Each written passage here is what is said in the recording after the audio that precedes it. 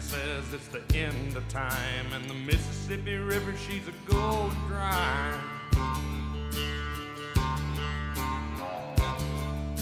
The interest is up and the stock market's down, and you're only getting mugged if you go downtown.